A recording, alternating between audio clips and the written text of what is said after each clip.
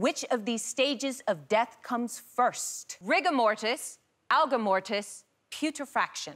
Did you take your work into the field? I did practice. I practiced for the Serious Fraud Office for three years. For three years? I did.